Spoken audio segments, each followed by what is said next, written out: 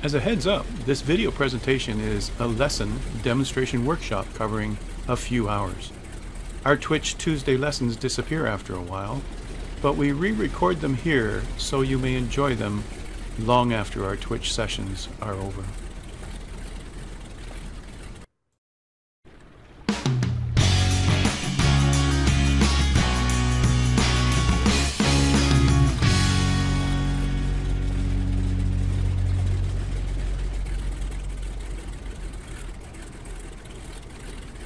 Hi everyone, this is Howard from Forder Learn to Fly. Today we're going to be covering the legendary, the classic, the most fun you can ever have in an airplane, the de Havilland Canada DHC-2 Beaver. Amphibious, skis, wheels, bush wheels, in and out of anywhere in the world, one of the most iconic aircraft of all times, the de Havilland Canada Beaver.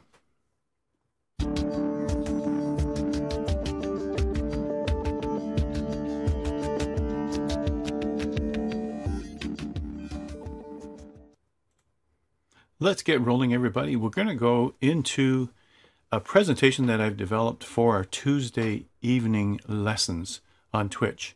So every Tuesday evening, 5 p.m. Eastern, we have our Tuesday lesson, and we learn something about flying. In many cases lately, we're learning a new airplane, and that's the case here. This ended up being a three-hour Twitch session. We're going to keep it down, of course, lower than that here on this YouTube channel, but we want to make sure that you get an insight on what we're learning, how to learn, how to handle confidently this airplane in all its configurations and different phases of flight. That's the, the purpose behind all of this. I certainly encourage your comments down below. Put them in there. Let us know. Help us learn more. All of us can collectively learn from each of your experiences. And uh, let us know, good or bad, what you think about this video series and whether it's all worth the effort to make these things happen. Um, and uh, we'll be able to um, take a look at a deeper insight onto how to fly a plane other than just spawning into a runway and hitting the throttle. And that's the whole idea behind uh, these lessons is to get to know the airplane more. I have been in the many Beaver airplanes in different flights in my business travels, mainly when I get to the West Coast, mainly when I'm in Comox or Vancouver or Victoria, those areas where I've been on business in my free time or after classes are over, I head down to the seaplane bases and see if anybody's doing a check ride or if anybody's doing a, a practice something or if anybody's doing a water taxi, I'll jump in and I'll ask if I can come aboard. Many times I find myself in the right seat and I get to see them in action. So maybe that'll help here in the session too, so you can see what's going on with each of these things. But I would do want to start off by just talking about the uh, disclaimer here. I'm not a CFI. I don't teach lessons for real in airplanes. I teach IT courses. It's teaching skills. It's being in classrooms or remote like we are now. But the flying part, as a real pilot, the flying part is just my love, my passion, and uh, the part that I love the best. And I fly it every chance that I can get. I typically rent Cessna's 172 and 150s. And uh, but anyway, with that information, with knowledge of flight and with teaching skills, I like to put together these lessons and it draws quite a crowd. So that's what's here. I'm sharing my knowledge. Lots of fun. There's a nice, beautiful shot of a group fly that we did. There I am in the Beaver with a sunset. A bunch of these people are actually with us in multiplayer and multi in uh, Microsoft Flight Simulator. All right, so the de Havilland Canada DHC2 Beaver, this is it. Now, if you see my eyes shifting, you guys, it's not because I'm a shifty person. I'm looking at other screens. My main presentation screen is that way. The main recording screen is this way, and all of the other screens that I use for flying are all here in front of me. So um, right now I'll be looking mostly toward that direction at the presentation screen as we go along. This is right out of the simulator. Look how real that looks. It's gorgeous. Um, there's no extra scenery, no extra anything added here. I will mention that I've added the 40th anniversary enhancement for the Beaver. Uh, and what that does is allow us to have skis. That's one thing that it allows. And there's a few other things that we'll talk about as we go along. But um, what you're seeing here is exactly what you get in the simulator. This is a free aircraft included in the 40th anniversary. And so we're just having a lot of fun with it. And uh, and and it's become my favorite plane. Well, it always was my favorite plane, and now it's here in the sim. Then I'm going to fly it a lot more. That's for sure. All right, so let's do a bit of background here. I'm just going to move myself out of the way so we can read this. You can see in here, 1946, de Havilland focused its attention on the design and development of a rugged, highly versatile bush plane that could take off and land almost anywhere. All right, and you know it's it, it was mainly designed for Canada's most remote northern regions, northern Ontario, northern Quebec, northern any province, northern British Columbia, interior BC, know all that stuff where they need a versatile airplane to get in and out of small grass strips, small lakes, uh, almost anywhere that people are inhabiting. So they christened the new plane the DHC-2 Beaver. Now, to do this, they actually made a survey, sent it out to, I think it was around 2,000 bush pilots in Canada, and asked them, if we were to make a new airplane, what would you want? Well, they came back with great responses saying, You're actually going to ask us what would be the best or ideal airplane. And they got an overwhelming response. The bottom line in some of that summary, you guys, is that simply that they stressed that it must be rugged and reliable, highly versatile, and capable of taking off and landing nearly anywhere and on all types of terrain, including snow and water. And they said, oh, uh, and another thing, while handling at least a half ton payload. well, they kind of chuckled at that and said, You realize that such a plane would have poor performance. And the response, as you can see here in front of you on the right, this plane, the, the, the Bush pilots were saying, the plane just needs to be faster than a dog sled. And that is still being used in the remote north, everybody. It's the only way to get around in some places. Certainly, snow machines, snowmobiles are taking over that role, but it's still all right, let's call it faster than a snowmobile and, and, carry those kind of loads. So that's how it, be, how it came about. And I'll talk about some of those enhancements as we go along, as we see the airplane, as we look at different parts of it. We'll see these enhancements that they've put into the design of the airplane.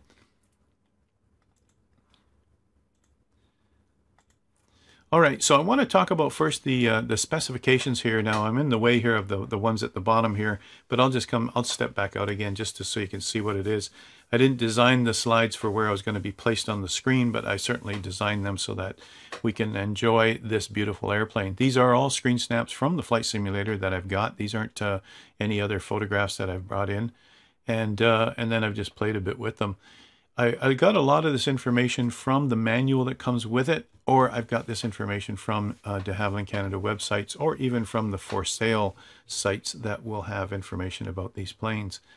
Um, you can see in here it's got a, a, a single engine Pratt & Whitney R985 Wasp Junior radial engine. And if you guys are under, you know, if you ever studied any of these Pratt & Whitney engines, you'll realize that they're all over the world. And uh, as Andrew pointed out, my co-host on the uh, Twitch stream the other night, he pointed out that this very same engine is used in so many other airplanes, including the twin-engine G21 Goose. So, you know, there's a bunch of other airplanes that use the very same engine, super reliable, plenty of horsepower, and uh, and that's certainly what's made this thing the, the plane that it is today. I won't go through all the other um, criteria, but you can see there it says seats one passenger, sorry, one pilot and six passengers. And that's certainly important. You can also see on this list here, empty weight 3,000 pounds, maximum gross weight 5,100. So useful load 2,100 pounds. And I've seen these things loaded up with oil drums. I've load, loaded them up with extra canoes. I've seen them loaded up with all kinds of cargo. Um, I've actually never been in a passenger version, but I've been in plenty of cargo versions of this plane, and mainly in the BC area. Fuel capacity 138 gallons, but that changes with uh, whether you have wing tanks, wing tip tanks or not, or whether you have a belly extended tank or not. But you know, we, we can talk about those things as we go along. I do want to point out that um, you know here is the focus on the Pratt & Whitney radial engine, air-cooled, supercharged, nine-cylinder radial. This is the, the draw, and this is a beautiful engine. I mean, just to see this. We looked at this same sort of engine or a similar configuration of this kind of radial engine uh, when we looked at the um, the 247, and there's a few other planes like the uh, the Grumman Goose that use these radial engines back in the day. Uh, nine cylinders, everybody. And um, here you can see some of the detail. This is right in the sim. I've opted for the chrome spinner, or you can get a matte black spinner. And you can see in here uh, the cylinders, the intake valves and uh, exhaust valves that operate, and you can actually see a wire going to a spark plug. You know, stuff like that is that kind of detail. Um, in past lessons, I have talked about radial engines and how they work, and even shown a video, a graphic um, moving video of the engines actually, uh, the cylinders actually working to make the engine rotate. And um, and these things take care, and we have to understand how to do engine management properly, uh, how to start it properly, how to manage it during flight. Um, taking care of your engine as a pilot has always been paramount because we want to make sure that we can safely, confidently take off and land all the time and keep this engine in pristine condition. And that's the idea behind it. All right. So I do want to point out now the performance itself. When you take a look at this screen, and there it is on the ski version, that you'll only get skis if you have regular wheels and then go pick skis on the tablet. We'll show you that later on in this presentation, how to do that. But uh, this, this skis are only available in what's called the 40th anniversary enhancement that you get on flightsim.to. I do want to point out that in the ski version, you only get that with the 40th anniversary enhancement not the 40th anniversary update that comes with the sim. But this is an extra enhancement from flightsim.to that Xbox users can't use yet, all right, for the ski version. As you can see, though, the ski version is awesome with you able to have this available for the airplane. It is a typical scenario in the, uh, the Great White North. Takeoff over 50 foot obstacle, your typical specification that you hear in any airplane, uh, 1,000 feet. Rate of climb sea level, almost 1,300 feet per minute, top speed of 179 miles per hour, and the cruise speed of 137. So, and then down to stall, typical stall speeds. Now, I want to mention, you guys, these are all in miles per hour, and and it's good to see this in miles per hour because the airspeed indicator is in miles per hour. This is very important. I fly Cessnas in real life, uh, 172s typically, and um, the first thing I do when I go in to lower the flaps and do the walk around, I glance over at the airspeed indicator because I have seen so many of them that are in miles per hour, knots, or kilometers per hour. It depends on whoever owned this airplane, and I rent them all the time. So whoever owns this airplane, whoever originally owned this airplane, opted for that kind of airspeed indicator. So if this one in the sim is in miles per hour, we want all the stats to be in miles per hour so that we can just keep thinking the same thing.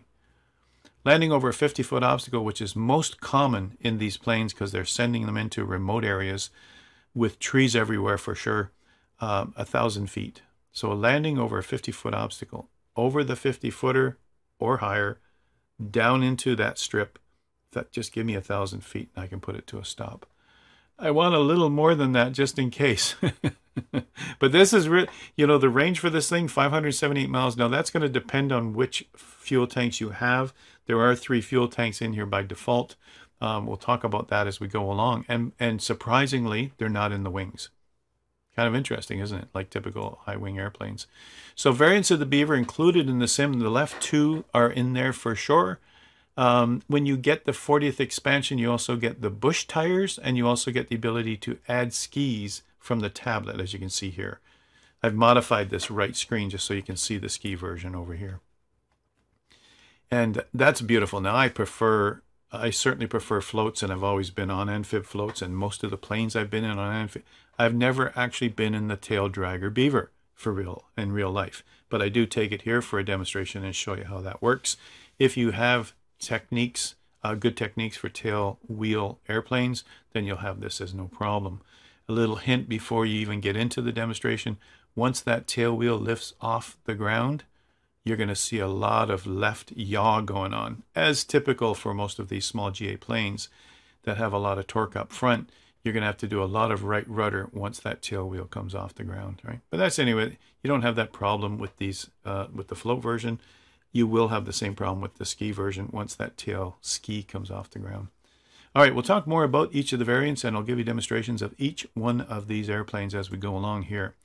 All right, so learning a new airplane. Now, this is the set, the standard seven steps that I provide when I'm teaching lessons on Tuesday nights on our Twitch channel.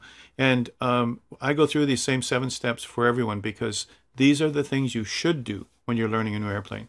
So many of you will jump into the sim, fire up that new airplane, and just give it the throttle. And you manage to fly the thing. You manage to land the thing. You might bounce around. You might go inverted. You might have all kinds of trouble, but you said, hey, hey I can do that. and have no idea whether you're doing it right or not. And that's what these seven steps are for, everybody.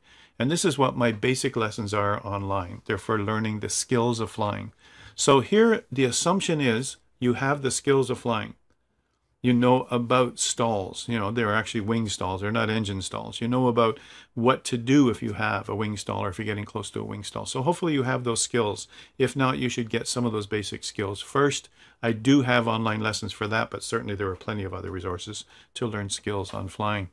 Now, so here in learning a new airplane now, transitioning to a new airplane, these are similar to what you go through when you do what's called um, a type certification you would grab the pilot's operating handbook and study it inside out. You'd start out by learning the vert, you know, the the standard speeds that you need to know, the V speeds, like number two on the lesson here. Um, and then you have to get a checklist or make one. Learn about any extra things that are inside the plane, like the blue knob. Like in here, we do have a propeller knob, a propeller lever. All right. In some planes, they're actually color coded, like they are on your Bravo throttle quadrant. Blue is for propeller uh, your constant speed propeller. It manages all of that. But we have to do certain settings for that. And we're going to uh, spend some time here learning about that. Uh, number six, cockpit orientation. Where is everything? Where's my flap switch? Where's my light switch? Where's my circuit breakers? Where are my standard instruments? Where's my navigation instruments? So we, we need to learn all of that. So I'm going to go through these steps in this session right now, all right, in the presentation, and then give you some demonstrations along the way as we go along. That's the whole idea behind it all. Okay, let's start with uh, step number one, obtain the pilot's operating handbook, the POH.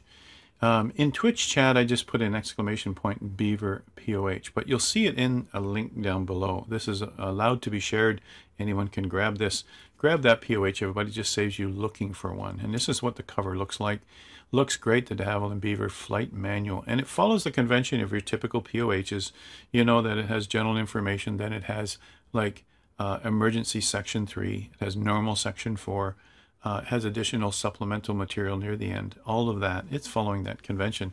As you can see in here, this one's March 31st, 1956. This is a 66 year old manual. it still pertains today. And we're going to use this for flying this airplane. It's only one one small area in the manual that I find not consistent with the sim and that is because they made different variants of this plane, the uh, auto-rich, auto-lean mixture control. Here we don't have the auto-rich, auto-lean sections. We just have a variable mixture control, well, like we're used to in other GA planes. And uh, so that's the only thing that was different in this POH, so that's the one I've selected for this. You notice that it says de Havilland Aircraft of Canada Limited, Toronto, Ontario. In fact, that's where I'm from, you guys. That's where I live in the east end of Toronto in Scarborough. Um, the Downsview Airport is only 10, maybe 15 minutes at rush hour to get there for here, from, from my home. And I have to say that I'm very proud to say that that's where so many beautiful things have come in the aircraft industry from Downsview Airport. You can't fly in there publicly right now, but uh, uh, certainly it's still being used for many things. But that's also where the the um, the Dash 8, Dash 7, all of those, I saw those in the air in test flights. All right, so grab the POH. That's the whole idea. We'll be referencing it all the way through. And here's an example of the table of contents. Here you can see each of the sections and what's in there. And that's just a start, you know. And, you know, these are the things, these are the skills we have to master to handle this beast. And we'll be referencing the POH, like in real life. We'll be referencing the POH as we go along. You need to move out of the way here. You need to read the whole manual, highlight important parts, make checklist cards, and understand it top to bottom. Well, in fact, everybody, I've made a checklist for you, a simpler one than what they show in the POH, but I've used this POH to actually make my checklist item so I don't forget some things. Always have a checklist nearby or go find a real checklist, which is more elaborate. All right, for the most realistic setup, here's our first taste of what the beaver looks like from inside. Boy, does that look like 1956. You know what I'm saying? All those nice curvy lines, those old looking everything. Conventional gauges, of course. This is the only modern add-on, and you can switch that out for conventional radios. All right, the standard Bendix King stack, which I'm used to seeing in these planes, but a lot of them have been upgraded and retrofitted to have you know, this is a standard uh, GNS 530 430 combination, which I've done in a previous YouTube video to understand how to manage that, uh, how to use them. And certainly that means that here in Microsoft Flight Simulator, you can use the autopilot panel down here, the KAP 140. You can use that to follow a flight plan that you've already made in the world map and come into the sim and it will follow it just fine, complete with all the autopilot, etc. This unique elbow yoke, I'll, t- I'll talk about it now because later on we just focus on everything else. This unique elbow kind of yoke that only works on one side of the plane can, when you're in level flight, you can move it over to the other pilot. Is that amazing or what? Um, and that's a really nice feature. Interestingly enough, about this, I should just add this in there. Interestingly enough about this, I know a pilot who wanted to get checked out. He bought a Beaver like this. He wanted to get checked out by an instructor. Of course, they call it a checkout flight. You learn everything about it like we're doing now, and then you go with an instructor, and they determine whether you are certified to take this thing solo, of course. And so that's called a type certification. So in this case here, the, the person who bought this plane now was searching for an instructor to do the type certification, those who, who can do that. And every single one that he encountered said, no way, there's only one yoke. I'm serious. And he finally found someone who said, yeah, no problem. And away they went, right? So I think, you know, when I talk to CFIs about this, I think the problem is they have no control whatsoever if the plane's in trouble if somehow the plane gets out of control for that person doing the certification check ride, how can that instructor grab the yoke and do something? You know what I mean? So typically, you know, in, in planes that have two yokes, that's not a problem. So that's kind of an interesting story, and then it ended up being a, a happy ending, thankfully. So that's it. Now I'm saying in here, use your left hand for the yoke, right hand for the controls. Now you certainly can fly it from the right seat, certainly for you left hand users who are used to yoke in the right hand and controls in the left hand, and it can be flown from either side, but typically we fly these airplanes from the left side. The walk around is the start here. You see this right in the manual. I'm only pointing it out because it's very similar to other walk arounds. In my 172, your typical POH walk around starts again at the left door, but it goes backwards around in a counterclockwise as you check everything. Here, they're having you do it this way. And there's things that you have to check specifically as they mention in each of these steps. And I'm not going to go through all of them, but that's what you would go look for. But I do want to point out this number one here, check security of fuel filler. What? Where's that? And so I want to point that out. You, this is all stuff right out of the manual, you guys. You can see in here that the fuel tanks are here. I mentioned there's three of them. One, two, three, right there. And these three tanks are just simply called forward, center, and rear. Right down there in the center of gravity, directly in the same center of gravity area as the wings. There is only fuel in the wings if you have the optional wing tip tanks that you would, whoever owns the plane has to buy it and put them in. And, uh, and then you would have some fuel up there and you'd use those first, of course, or keep them balanced. But take a look here. This was one of the criteria that the Bush pilots said they wanted. Instead of climbing up on the wing to put fuel in, like a 172 or many high wing airplanes, they wanted to be able to service the fuel oil hydraulics from the dock or from the side of the plane without coming up on top. Now, in a float plane, this thing would be rocking away while you're trying to put fuel in up at the top. But even on the ground, you could be in high winds and blizzards and whatever, and you're trying to get this thing ready to go. Well, I think in blizzards, they're probably not getting ready to go. But the point is that they want to service the thing on the dock or right beside the plane. And look, there's the fuel filters the fillers for the front, center, and rear tank. So you'll see three of those right there. And other things that we want to service, they've kept in mind the pilot. All right. You can have the optional long range tank underneath and the optional wingtips, as I mentioned.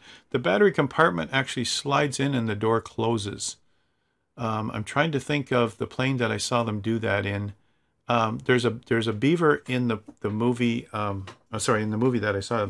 It, the movie called um, Sweet Home Alabama in that movie, Jake actually slides the battery back in and closes the door. Now, this is important because in cold weather, one of the recommendations in the POH and what I've heard from a real pilot who flies these planes, in the coldest of weather, if you're staying overnight at that hunter's camp and flying out in the morning, typically that's done because you flew in just before dark and you cannot take off on the water at night. You know, you can't do night uh, water flying at night. So um, he actually takes the battery out Now, if this were hidden somewhere inside the plane or in the, the engine compartment, you know, like a typical car, you open the hood and there it is, and there's a couple of terminals. You know, this had to be an easy thing for them to remove, take into their camp or into their warmer place where they are, whether it be a fishing shanty or a hunter's cabin or whatever. Keep the battery warm and keep it filled up, of course, with um, uh, with distilled water, of course. These you know these batteries and then take it back out to the plane when you're going to start it up. All right, isn't that interesting? And it had to be easily accessible. Take it out and take it inside, bring it back. And that's a very common thing to do in these rugged plains out in the north. All right, I don't think there's anything much else I have to see here. The oil tank filler is, is in the cockpit also. That's another criteria they asked for. Instead of being somewhere in that engine compartment, like in a 172, you open the little tiny door, you check the, fu- the stick, and there's also the place to put the fuel in, or sorry, the oil in. Uh, they wanted this done inside the warmth of the actual plane. Um, and also, that's also a way for them, this is important, you guys, it's also a way for them to um, dilute the oil. So uh, the recommended oils in the POH, of course, but in the coldest of climates, that oil is so thick like syrup, it's not good for that engine. Um, and so, same with our cars too. If our cars in the cold north, if you don't use a plug-in heater, uh, it, you know, it's called an engine block. If you don't plug your car in at night, you'll see it might have troubles in the morning. The battery will have less power. The engine will be struggling to get turned over. So here, to take care of this engine, you can actually dilute, and it says it right in the POH, you can dilute the oil with some fuel. And they talk about 10%, 20%, 30%, depends on the temperature and all the rest of it. And you do this from inside the cabin. It's amazing, all right? And it's pretty cool. I've seen that in action. They put some fuel into the oil. Kind of interesting how they do all of this and how they figured stuff out. Kind of cool. The static ports back here, it's important to know that during the walk around because um, you want to make sure that's clear, that, that at, at least two instruments are uh, controlled by the static port. And uh, certainly your airspeed indicator, your um, barometric pressure is taken from this port. And this is why we typically have a static, an alternate static port too. So you're checking that to make sure it's clear, make sure they didn't paint over it, make sure there's an actual hole there, and um, things like that. The ground sockets here, and then you can see, you know, they're talking about the hydraulic reservoir fluid. All right, and that, that's an important part too. All right, so let's move on here. I want to go to step number two. We won't, we don't want this to become a three-hour session here on YouTube. It's going to be long enough as it is with its demonstrations to go with it. So here, number two in learning a new airplane is to learn the vital speeds, the V speeds. Now, V doesn't stand for vital. All right, you guys can say it in comments what V stands for, where this came from, the original word V speeds. But the point is, these are the important speeds that you'll see in any POH. Here, we're looking at the four most important for now, um, and that is VR, rotate, VY, best rate of climb, which is your typical climb. VX, best angle if you're going over a 50 foot obstacle or trees at the end of the runway kind of thing. Cruise settings for the majority of your flight. And then your approach and landing. So I put those in there. I don't want to cloud you with a million statistics here in this video. We want to get a handle on the four main phases of flight and the instruments we have to look at for that.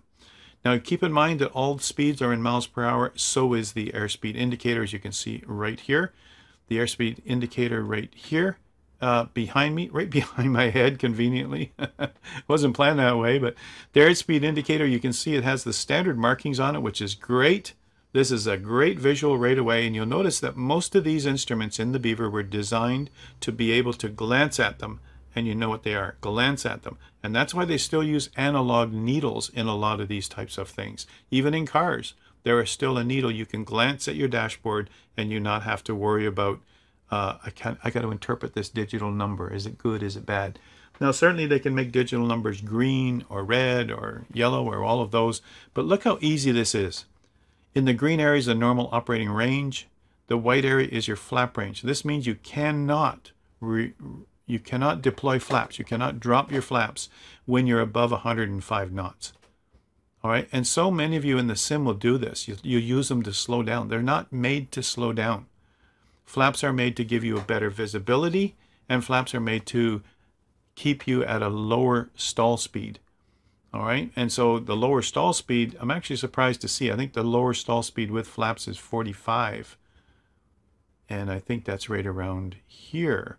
So I'm surprised to see that their airspeed indicator doesn't show the flap range lower than your normal operating range. Should be down about here. All right, so, and then you can see the uh, yellow caution area. You can still do that in straight and level and calm air and then never exceed at 180. So you can see in here, approach and landing 90 miles per hour as you approach through there. As you're applying flaps and you've got your landing flaps in, you should be around 80 miles per hour as you're touching down. And in here I put in the extra caution that came from the POH, empty the rear tank first to move the center of gravity progressively forward. That's what they do in these. Step three, we don't have twin engines. We're going to step over, jump over that. This is a single engine. So number four, get or make a checklist. All right, now the whole idea behind it, you can find checklists all over the place. Most flying schools, uh, sorry, most flying clubs will share their checklists for whatever airplane they have at their club, and people can find them on the web. I always send a note to the source and say, I'd like to use your checklist or I'd like to use your POH um, in my Twitch sessions or in my YouTube videos, and I get permission, written permission by email. In this case, I made my own checklist out of the this POH. I looked at this POH and I made my checklist. You can certainly do the same. In Twitch, we would just type in exclamation point checklist, but I'll make a link below for you to go and just click on it and it'll pull it out, uh, the checklist that I made. And the checklist that I made looks like this. And we'll be referencing this as I do some of the demonstration flights. It's just a one pager of every area. It was really hard to condense these things down to one page, but it gives you the basics that you need, even the, the run up, warm up, and then a picture of the cockpit. You know, that's what I typically do in these uh, in these uh, checklists that I make, and that's available to you. And then here is the POH that it came from. And when you look back in here, you'll notice it does have sections in here for your steps. And you can see in here, here's a takeoff check. Now there's plenty more in here. This is the real POH, so I had to reduce it down to you know, the things that we really care about are the things we have to know about here when operating the plane. You can make your own more elaborate checklist from that POH. I print them, I laminate them so they last and they're nearby without using electronic devices. I, I have them on my iPad too, like I do in typical flight. Number four, uh, get or make a checklist. As I mentioned, we should also know the emergency information although I didn't make a sheet for that. Typically, checklists have normal procedures on one side, emergency procedures on the other, standard V speeds somewhere in a corner, uh, things like that. Here in this case here, if you're a land plane, just wheels, 95 miles per hour is your, is your glide speed. That gives you what the chart shows you. It gives you the, the most amount of distance for the altitude that you have. If you increase your speed, you're diving too fast, you'll fall shorter of what you expect. If you increase your attitude with nose up, you'll have a slower speed and you could end up stalling out of the sky. It's not beneficial to go slower than this because you won't get the same endurance. All right, you're going way too slow for gliding. All right, even though you can glide slower. So these are the optimum speeds to get the most amount of distance for the height that you have. Right out of the POH. Seaplane 92 miles per hour in an engine failure, land plane 95 says for maximum glide distance, keep the flaps up. Absolutely. So many people think that, oh, I'm landing. Even if I'm gliding in an emergency, I'm landing. Let's put flaps on.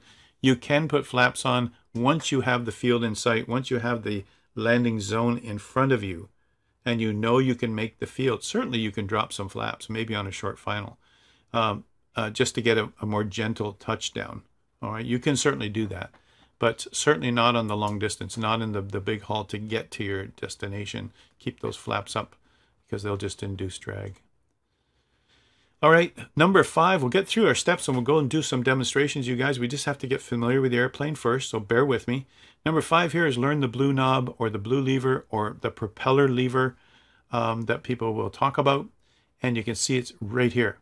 All right, your propeller lever will control the RPM that you have. Your propeller lever is the actual pitch of the propellers and the governor that goes with it. We did whole a whole Tuesday lesson for two hours on this lever and the variable pitch constant speed propellers. So that's another whole lesson all on its own.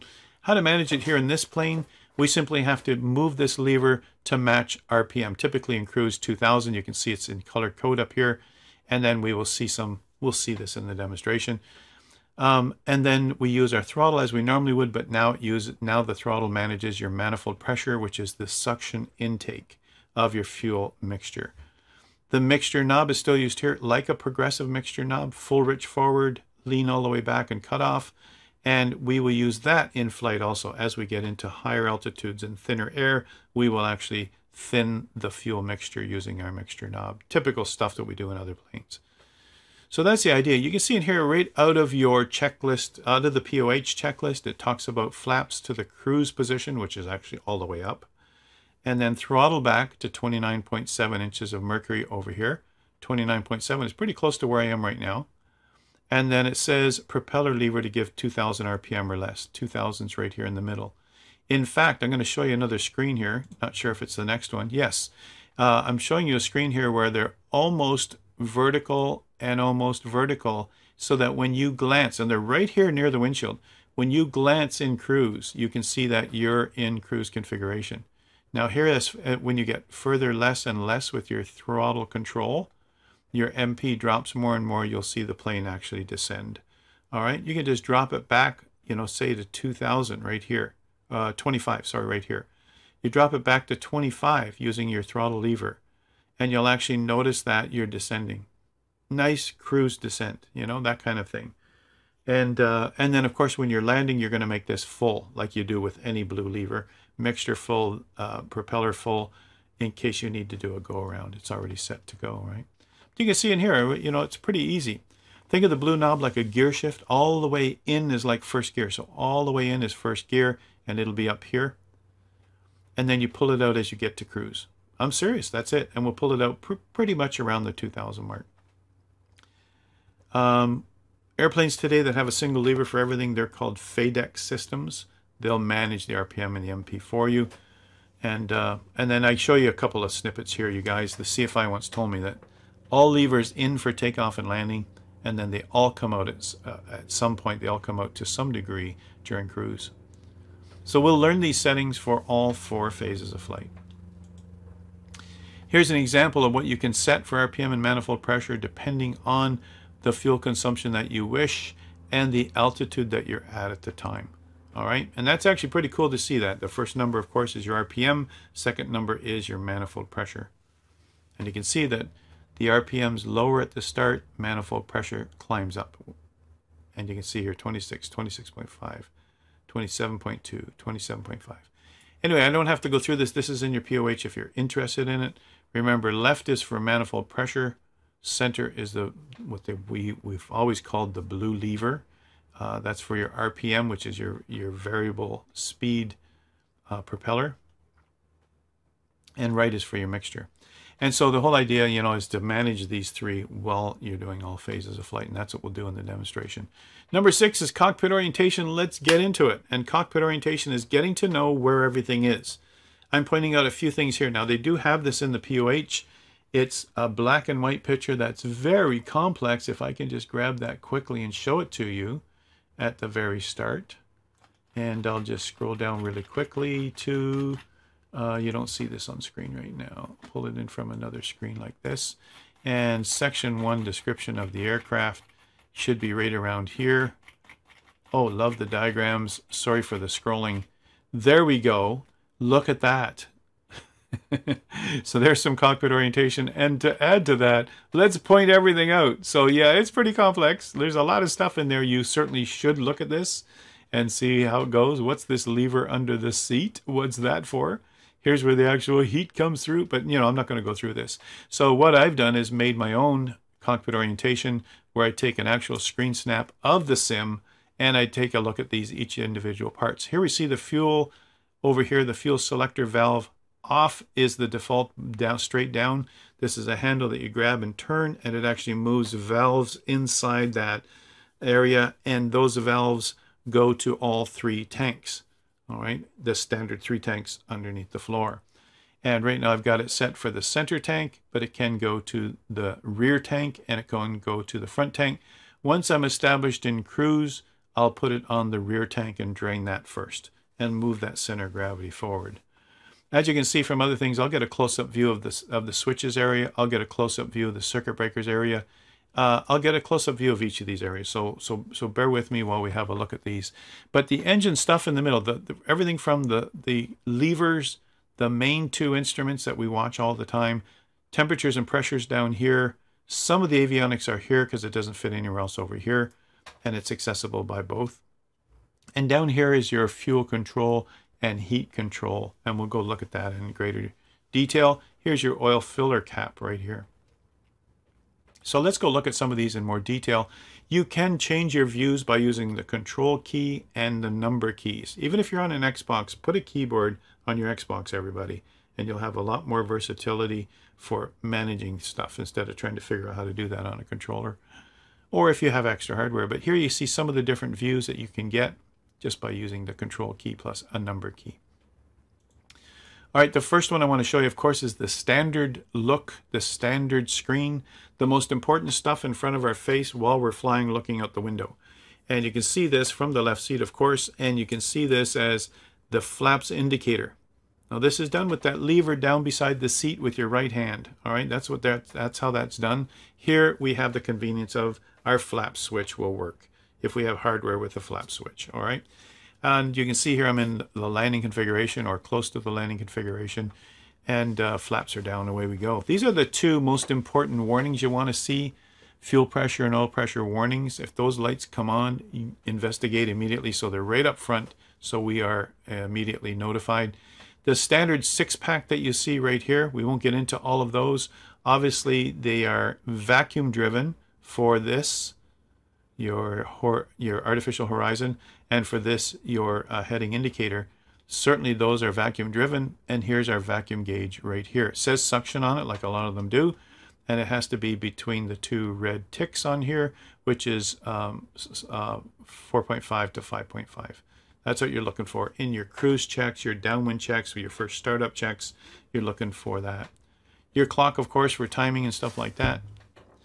And your normal six pack stuff your altitude where you have to adjust for your barometric pressure to start with, and away you go. Uh, I've added the option from the tablet for two VORs in here, but uh, there is a standard uh, configuration there. So, you know, the things you need to glance at, my flaps are there. The only thing I don't see here is like a gear indicator, but it's a fixed gear airplane. It's only a gear indicator when you're flying floats, or amphibious floats, I should say.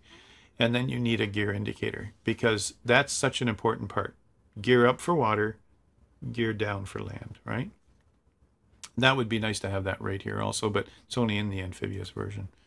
The very top of the screen are trims that you could reach up and trim. We can do this with our, our typical uh, Bravo throttle quadrant trim or our um, Velocity 1 trim. Those things can all do this also. Outside air temperature right here, up on the ceiling also. And lots of padding. What's that for? Next, we move down into the below six pack. All right, so we looked at the six pack up here. Just below that is your switch panel. We see a lot of the switches here. There's a few more over to the right, but here your standard strobe, landing light, all of those, beacon light, you name it. Here we also have the starter for the electric starter, although these planes can also be hand cranked.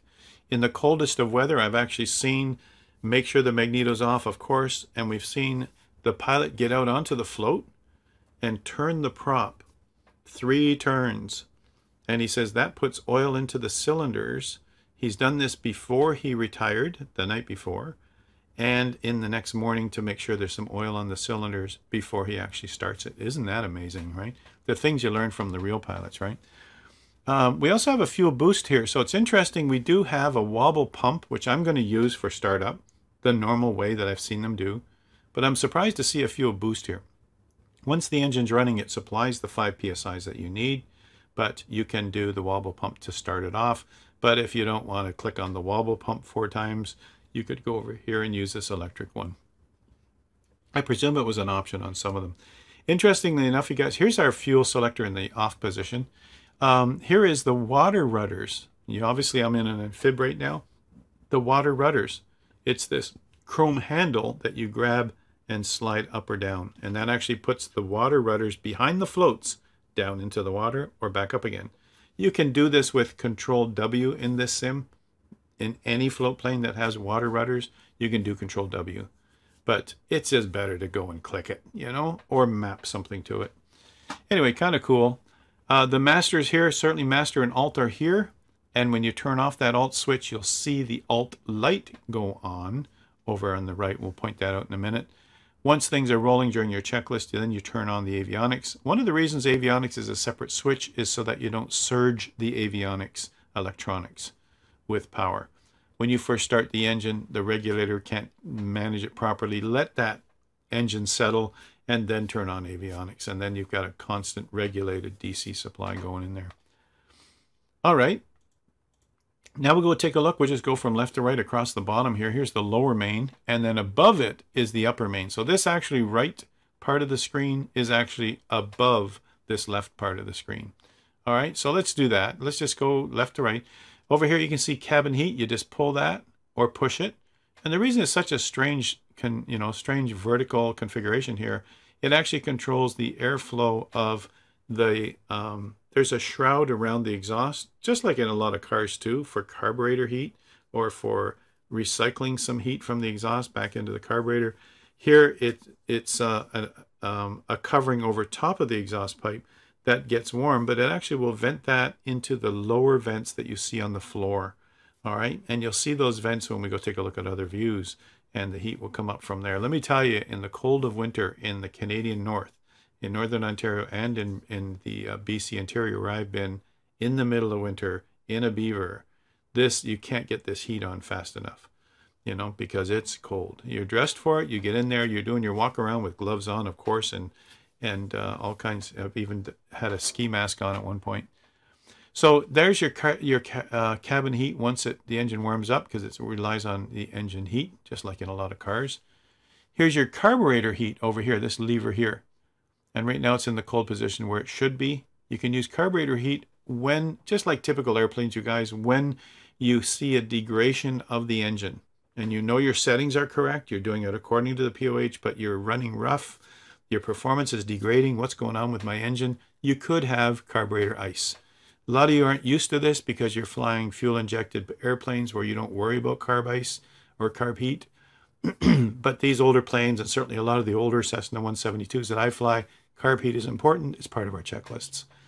Now, carb heat, when you put it on, what it does is heat up the throat of the carburetor and it melts any ice that's in there. This is important, but you'll notice as you do this, if this is realistically simulated in, in here, you'll notice that just like in real life, the engine will run even rougher for a few minutes or a few seconds because you've melted the ice and now the airplane is ingesting that water with the fuel. so keep that in mind when you put on carburetor heat. It could be rougher for a few seconds and then wow, it's working beautifully now. And that's when you know that you actually had carb ice. And you'd have carb ice in conditions you don't even realize the temperature ranges. So I leave it on cold for normal starts and normal operation. I'll put it on hot when um, the engine's certainly warmed up and when I'm in flight and I feel a degradation. The wobble pump itself, you click it to go up, you click it to go down, and each pump gives us some pressure. They recommend four, so two up, two down, and that'll get us rolling. You'll, I'll show you the instrument that we'll look at. Um, matter of fact, I'll show you the instrument right now. it's right in front of my face, right here on the upper panel. So while you're pumping this, you look up to this gauge right here, the fuel pressure gauge, and this needle will be straight across. That's your five. Now, if you do the wobble pump and then sit and look at this thing, you'll see it start to slowly fall. And then you get to do wobble pump again, you'll see it slowly fall. So once you've pumped it up, you don't do this wobble pump until you're ready to turn the key. All right, when I'm ready to turn the key, I'll wobble it to five and then I'll turn the key. I've got enough pressure on my fuel to deliver the fuel.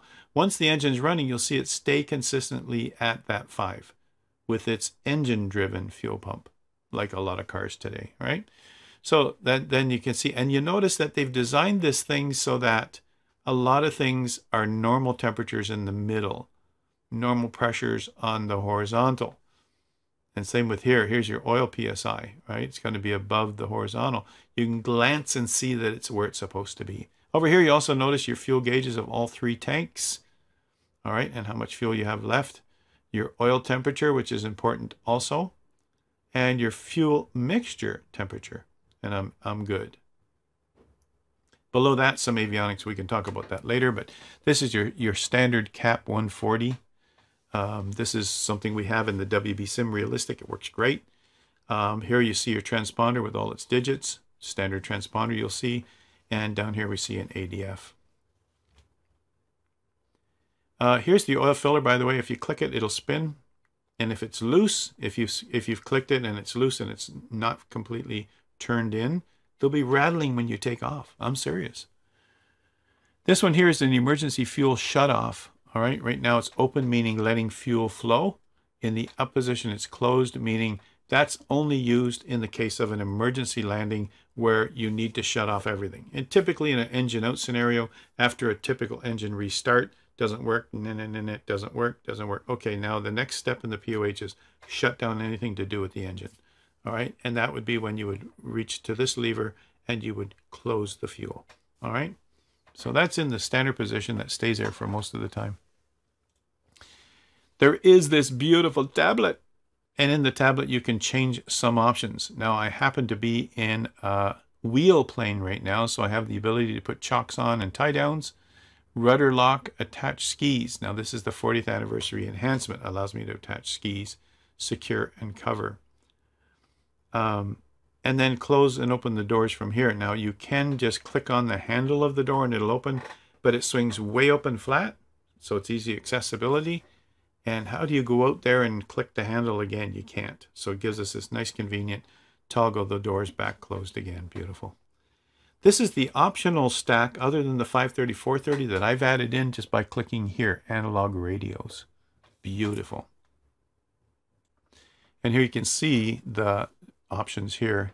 Here I've switched it over to the 530, 430, and here I've switched it back to the standard Bendix King stuff that I see in a lot of the old planes that I work with. And there's the audio panel up top. All right, uh, cockpit orientation, lower right electrical. So underneath that navigation 530, 430, you can see here, there's your alternator light. If you turn off your alternator switch, standard check during run up, you'll see this light come on. You'll see the amps drop. You'll see the voltage drop. You're not charging your battery and it's a dangerous situation. If that light, light comes on in flight, you'll want to recycle your your power and if that's not working you want to put this airplane down fast now magnetos uh, will always work even if your battery's dead but nothing else would work of course uh, your magnetos would work, your hydraulics would still work because they are driven by the uh, by the engine. But a lot of the you know all the rest of the stuff won't work at all. Your normal uh, lights here, instrument lights and cabin light.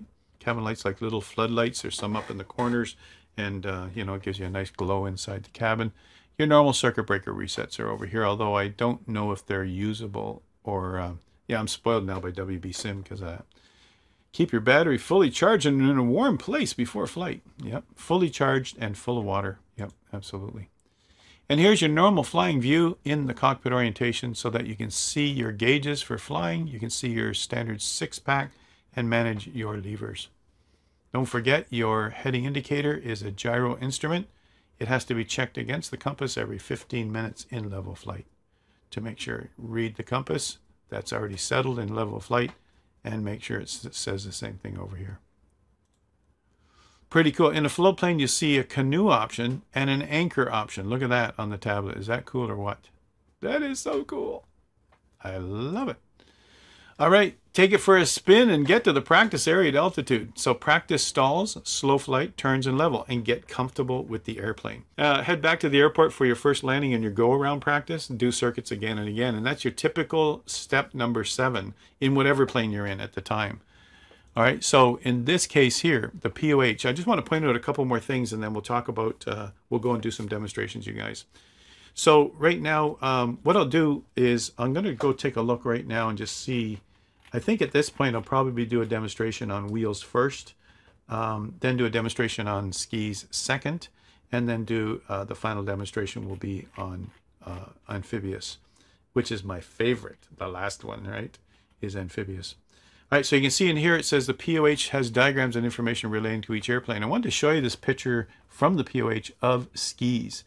And they have their trim unit, they have their suspension, their springs, their little uh, shock absorber, and they do have wires here that are used to either they're fixed wires that hold it at the right angle so it doesn't dig into the snow, or they are um, um, retractable. They can pull the skis up more into the wheels so that the wheels are exposed or back down so that more of the ski is exposed. In here, they look like static from what I can tell. And in the sim, they're static too. So you can't bring them up or lower them as you can in some planes. Looks like they're attached here static, you know, that you can't move them. So that's good. It keeps the right angle. Make sure you don't dig in.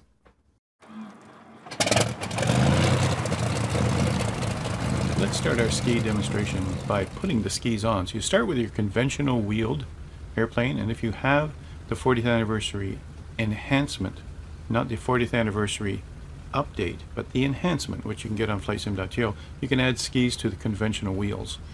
Let's go back in the plane now, and we'll just go over and see how to do that. If you come over here to the tablet, get a closer view of that, then you'll notice you have the option here to put chocks, skis, tie downs, all the rest. And we're going to put some skis on it. As simple as that. Come back outside the plane. Let me just reset that view. And you can see now that we do have skis on the plane. Let me get a better view here with the camera.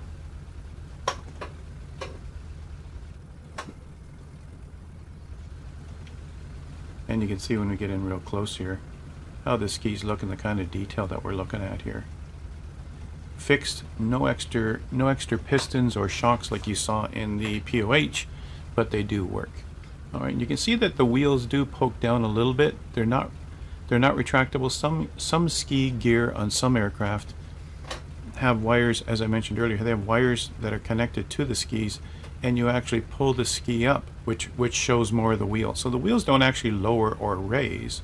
The skis actually raise to expose more wheel, or the skis come back down, usually spring-loaded, to uh, to so that you don't have a wheel. And you know, this one here is just fixed, so there is some wheel showing in the snow. That wouldn't bother us at all. The skis will take the load across the whole length of the ski. That's what it's all about. Now let's just change the weather so that we've got ourselves some snow. And what we can do is just simply go into live weather, and I'm sure here where we are, it's going to put snow on the ground. Here, see, after I say that, there it is. Okay, had to wait for it. Now this is more like what we're after. All right, this is ski country, no doubt about it. This is an actual airport. This is actually Hope Airport in British Columbia, where I've flown out a lot of times. All right, back into the plane. Let's get rolling. Now treat it just like any other, any other tail dragger. Only now we. Uh, we don't really know where the runway is. As a matter of fact, you guys, with this kind of weather here, with this kind of weather, I don't think I'm flying. So uh, I wouldn't be able to find the field again to come back down. So I'm just going to lighten that up a bit. Take away the live weather and just throw some snow in there. Like that. And at least then I can still find the field. there still isn't a strip of any sort. I mean, once there's snow on the ground and it's not plowed, we're in trouble but that'll work. All right, we'll just see where we are. Yeah, that'll work. Sure, we can we can at least find the flat spot and get going. All right, back into the plane. Let's get rolling. We're gonna just check that the uh, give it a bit of power. Make sure it's still you know there's where it should be idling really. On a tail dragger, we got to be careful with brakes on and revving it up to do our, our run up. Uh, you could actually nose over, but let's just see now. I'm gonna press the uh, parking brake I got some movement. Okay. And we're just going to give it some power. I've got 20 degrees of flaps all the way up. Hold back the tail wheel. Have a look at that on the ground. Let it level up like that. Tail wheel's off the ground. And then we get airborne. And away we go, like any other tail wheel. So really it's just tail wheel flying, everybody. It's just tail wheel flying. Let me just come back around and land, simple as that. I'm just going to pull back some power now. I'm not going to climb too much higher. Gorgeous area. I'm going to stay pretty low here. Come back down and just do a, you know, low level circuit, come back in. Hey, someone came along with me. That's great. Look at this gorgeous area. This time of year, ski country. All right, that'll work somewhere around there. Beautiful.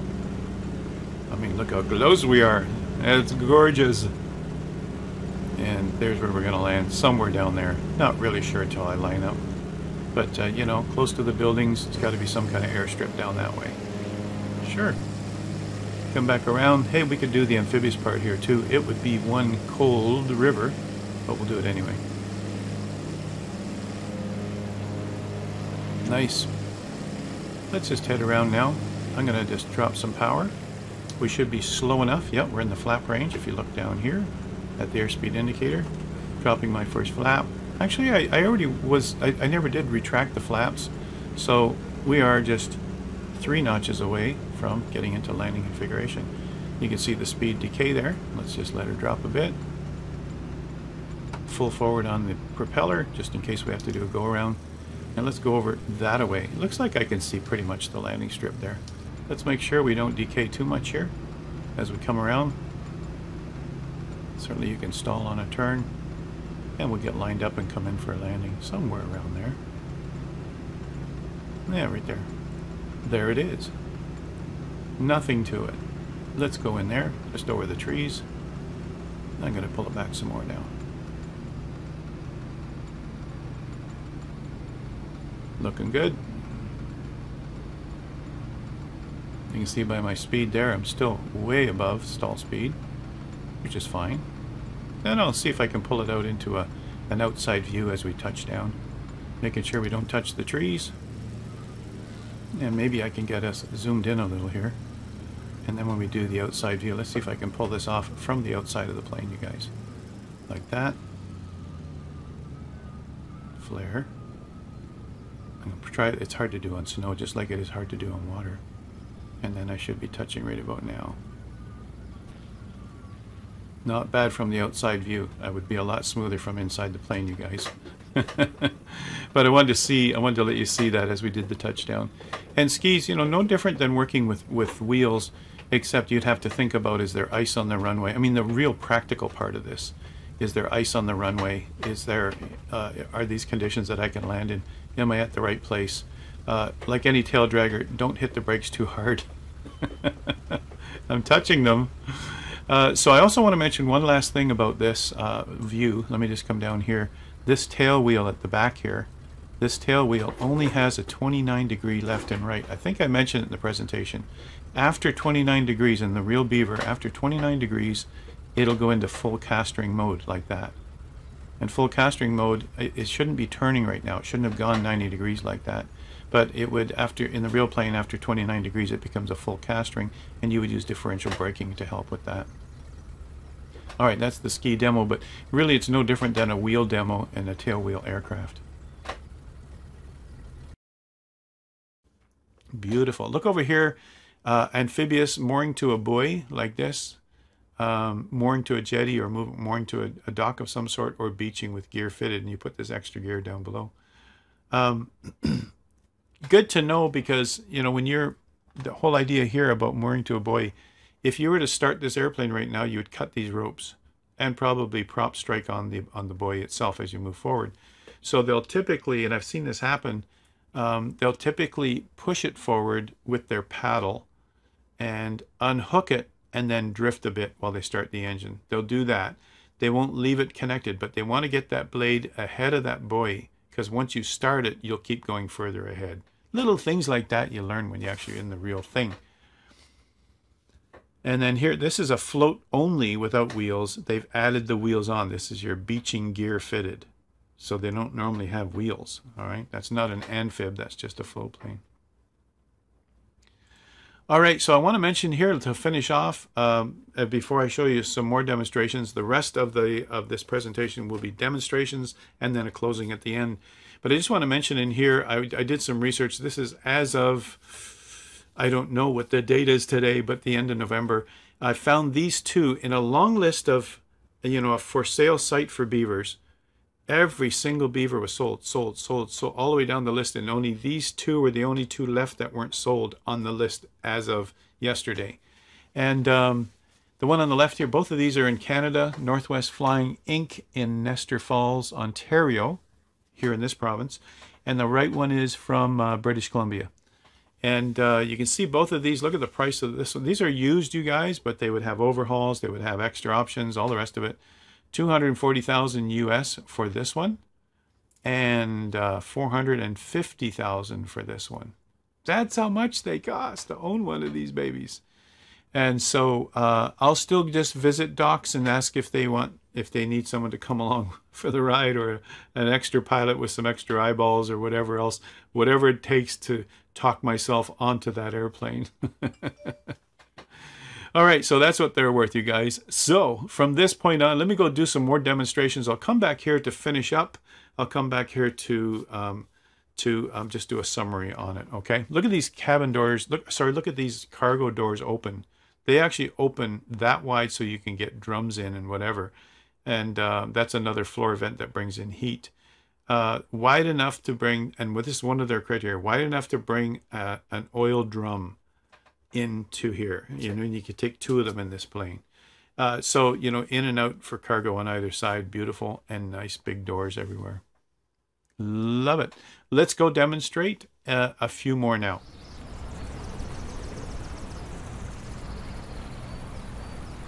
Let's go through the checklists, get this thing rolling.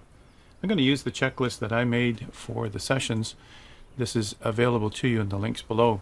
Use this checklist in your home flight simulator only, of course. This is very abbreviated. I wanted to make it into a one-pager, and that's it, and then a, a, picture of the actual panel. Uh, so that's all there is here. There isn't even an emergency card. There's just this, and, and all of this was taken from the POH. All right, so the very simple thing here, flight control locks free and correct, all engine levers back. So let's do two at a time. Flight controls free and correct. There's the elevator at the back. You can see that. There is the ailerons, which you can't really see well here. You can see the balancers moving. Uh, let's just move it around this way. And then you can see those moving just fine. All right. Then we'll also do the rudder pedals. And the rudder pedals you can see over here are moving that. They're also moving the water rudders. Free and correct. We're good. There's the trim tab for rudder. And there's also a trim tab, a, a trim surface here on both sides of the wing for elevator trim, which is one of the most important ones. So controls are free and correct. Now from inside the plane, you would look left, and if you could see that, eh, it's not quite visible. Let's just do it like this. Maybe a little more. You'd have to really get down there. Maybe I can do this. Hold on, there we go. So as you look out that window and you turn the yoke to the left, you should see that aileron move right there and it should be up. So a good expression here is when you're turning toward an aileron, point your thumb up. Then you know that they're tied in properly. Again, if I look from the outside, I'm looking at the left aileron, it's going up. It's going up. All right, looking at the right aileron, and I'm turning the yoke to the right, it should go up. All right, that's the idea. And typically in a, in a controls check, you go one, two, while you're watching this. And then you go three, four as you're watching this. All right, and then it's five, six, seven, eight. And that's how you do a quick check. And you can do that all very quickly, of course. So controls are free and correct. We're good. I already did the walk around and took down all the tight-ons. And the second one on the list was all controls back towards you. All right, and that's what we've got going right there. The third one on the checklist is all switches off. Let's just go over here. all levers back, pull back toward the back of the airplane. Fuel quantity, select the fullest tank, all switches off, battery on.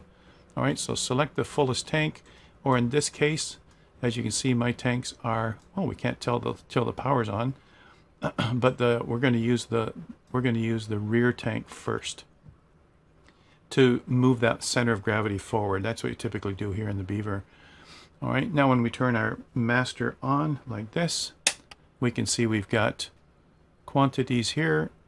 Um, the fullest tank would probably be the middle one. We're going to use up that rear tank first while we're doing run up and take off, and then we're going to move forward after a few minutes to one of the other tanks. Okay, so we've got all those checks done. Let's just reset that back to a normal screen. And we see power is on. We're getting ready to start.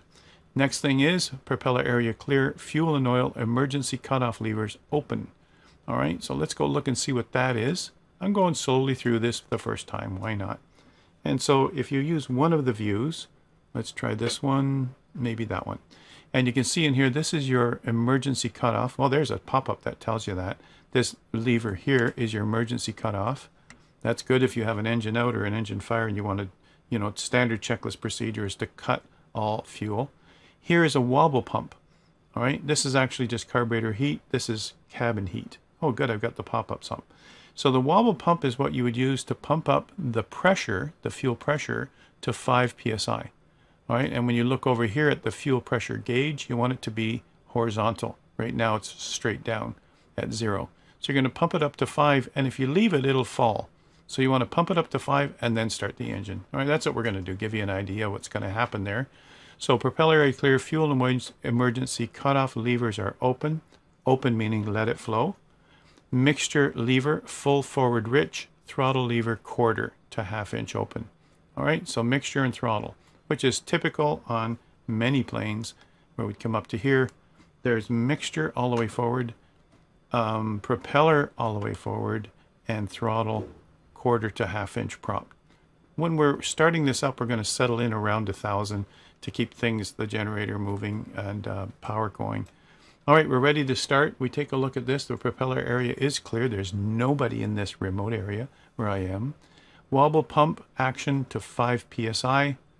Prime four strokes. We don't have a primer to work with. So we're just going to use wobble pump to 5 psi.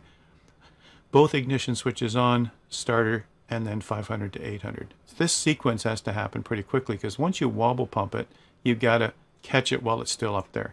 Once the engine starts, it'll stay at 5 psi or above. All right, so we're going to wobble it, start it, 500 to 800, and look at our oil pressure right away. All right, this is important in all airplanes. We got to make sure that's working or shut it down. All right, now at this point, they do actually put the propeller lever forward. All right, so I'm going to just follow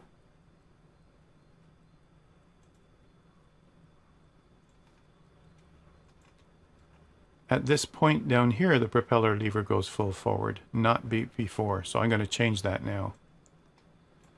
So I'm going to take my propeller lever back to here and just do that after it starts. Okay, ready to start. So we're going to go down to the wobble pump right here. I'm going to do it this way so you can see what's happening up here.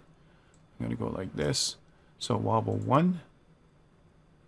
Oh, this is the one you have to, let me remove the yoke here. This is the one you have to click it both ways. You can see it's already getting up there toward 5, but it's sinking. And I'll go in real close just to show you that, like this. You can see it's starting to fall from 5. I want you to see that anyway. And, uh, you know, it eventually does fall. So then you want to pump it back up. And then when it's between these two red tick marks, you want to start the engine. All right, we've already got power on. And so we want to do that. So I'll just come back down here might be able to do it like this. One, two. There it is. It's already up to five. All right, prop clear.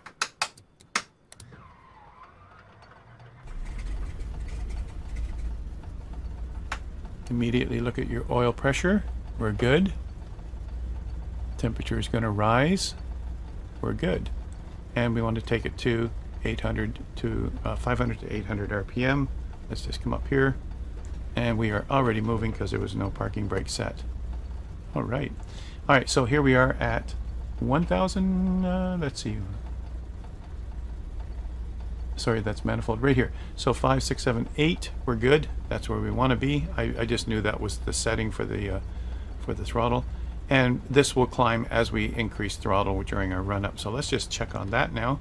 We're going to be doing the run up propeller lever full forward. Now we put it full forward after the start. All right.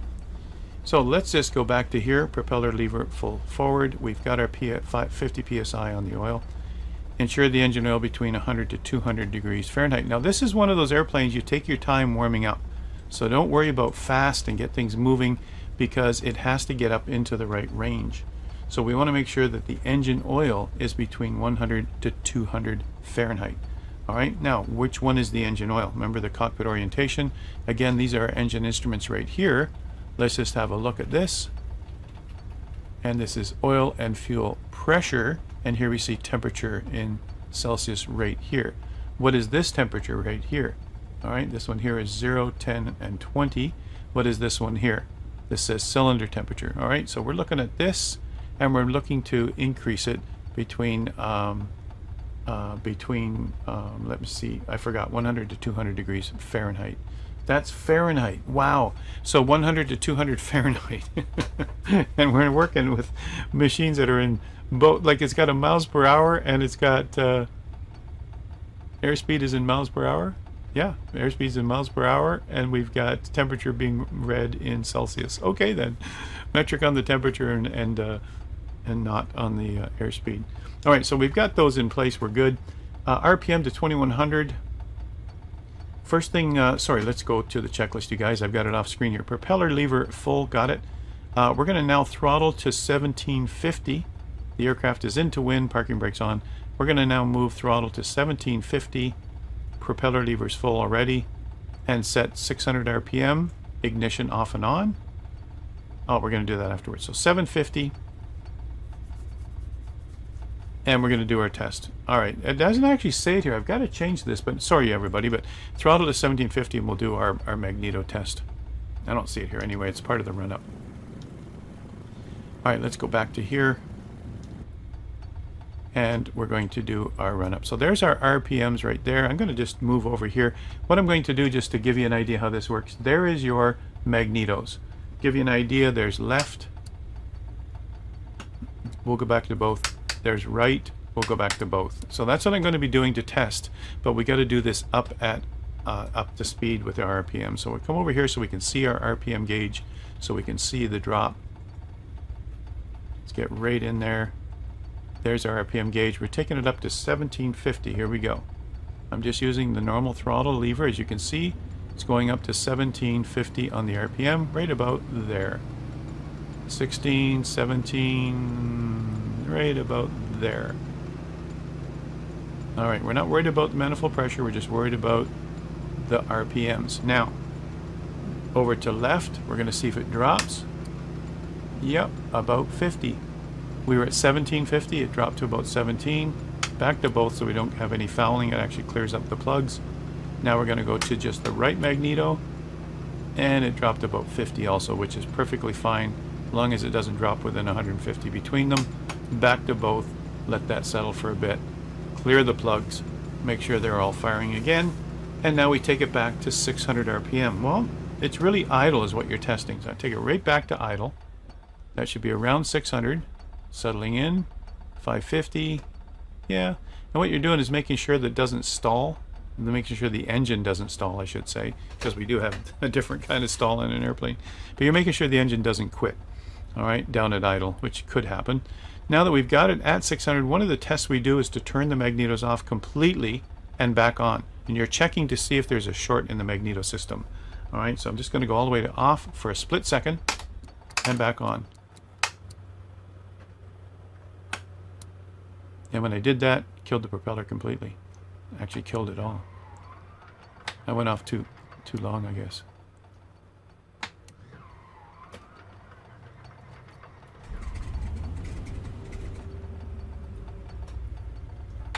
Yep. I guess it was off too long. It's supposed to be momentarily.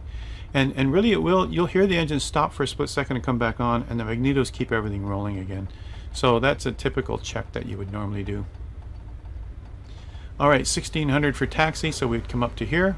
There's our normal taxi right around there. No faster than that. All right, now I'm near the water. I can just slip right into the water, right? And uh, you'll see that as we get going. All right, so let's just go back and see where we are. We finished the uh, the engine start, before start, engine start, and run up. Throttle to 1600 to taxi. Um, oh, RPM to 2100. So even after our 1750 and after our ignition off test, go back up to 2100. It's even higher. Make sure oil, fuel, and vacuum pressures. Let's check that out. Always got to check vacuum too, because some of the instruments are running on vacuum. And so now we'll take it to 21. Brakes are on. 21 should be somewhere around there. Let's see if I'm right. Ah, 18. 21. Right around there. I'm actually moving at 21, so I'm going to pull it back a bit. There we go. The brakes aren't working well. All right, so we want to go and check our vacuum. All right, where's our vacuum? Let's go have a look, you guys. Here's our suction right here. It should be around 5. It's between 4.5 and 5.5. I bet you if I were at 2100, you'd see it right in the middle. All right, so we're good with the suction. We also want to look at temperatures. You can see temperatures are now rising into the acceptable range here between 40 and 80. Remember, that's in Celsius, everybody. 40 Celsius is definitely over 100. We are supposed to be between 100 and 200, so we're good. All right. We can also see that our fuel pressure is at 5. I mean, everything we're checking here is all within range. Here's our oil pressure between 50 and 100, which is supposed to be right here. So we've got everything going for us. This plane is ready to rock and roll. I've got it set for the rear fuel tank. It has a little less than the others, but you're supposed to set for the fullest tank. I'm going to turn my avionics on at this point. It's not on the checklist, I don't think, but that's a normal thing you do before you taxi, of course. Now that everything else is running properly, I'm going to bring this back to a normal idle before we get rolling. Again, just take it right down to nothing. It should sit somewhere around the 600 mark. Maybe there. All right, flaps at takeoff, propeller full. That's our next step, taxi and climb out. Flaps at takeoff, propeller full, higher RPM for cooling while taxiing. So we're going to go to 1600, keeps the air moving in the plane, or in the engine. The engine is an air-cooled engine. Carb heat cold, pitot heat if needed, depends on your temperature outside, and then rotate at 55 to 65. All right, depends on the weight of the aircraft. So carb heat cold, flaps at takeoff. Let's do that. So our carb heat lever, let's come back to maybe uh, a default view. Control one, two, two, three, four. All right, there we go. There's our carb heat right there. Carburetor heat, it's set for cold right now. Typically, you don't use it to set too hot until you're in the air. Typically, your cold is your filtered air and your hot is your unfiltered. But anyway, we'll do what the POH says. It's on cold on this lever. Parking brake is still set. Cabin heat, it's looking pretty cold outside. That's optional, of course. And uh, making sure that our filler cap is all the way in or it'll rattle. Good. It's a quick check. I should put that in the actual checklist. Everything's ready to go. We also said that we would do um, pitot heat if needed, and we don't really need that right now. It's a good check. Matter of fact, during during our normal walk around, we lower the flaps. We turn on the master, lower the flaps, and turn on the pitot heat, and we and then turn it off after a while. And we go out and we actually see if it's warm with our hand. That's typically how we do it. Um, but anyway, uh, we'll turn that on and we'll get rolling. That'll help us with our airspeed indicator, etc. All right flaps to, uh, sorry, flaps to, the last thing here was flaps to takeoff, which is right up here. And I'm just going to do the flaps. It's a pump on the floor, pump, pump, pump, pump. There's first degree of flap. And here, here's our takeoff. So, the, the you know, it is actually, um, this is actually your climb setting. This is your takeoff. So once we get positive rate off the ground, uh, no more usable runway, and then we'll now set it for climb.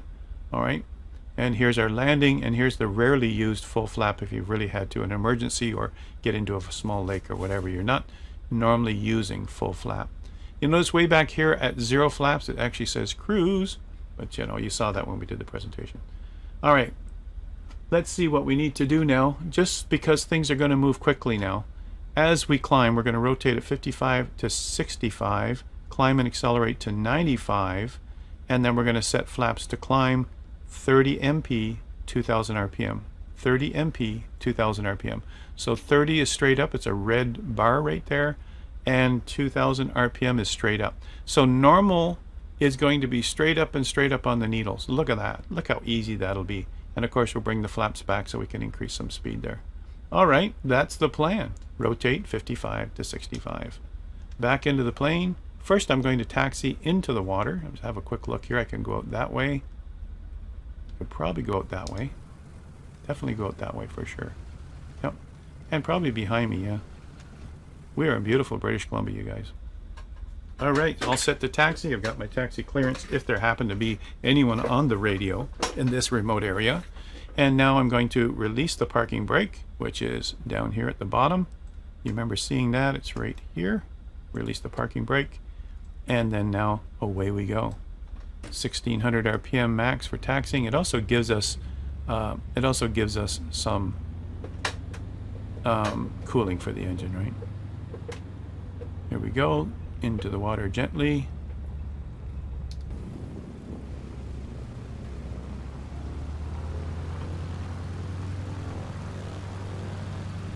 I got it up to about 1700, 1600 to taxi into the water. Once I'm deep enough, I'll put the uh, water rudders down. That should be deep enough. Looks like I'm away from the shore.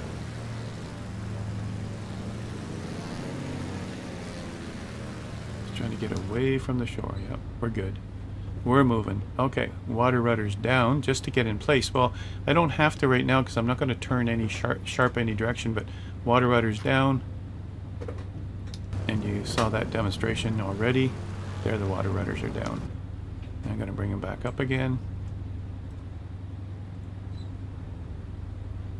There we go. We're good.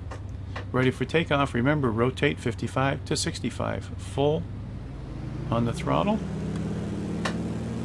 Keep the stick back or keep the yoke back to make sure it stays in the water. We're going to rotate around 55. Whoops, wrong view. There we go. Not there yet. Right there.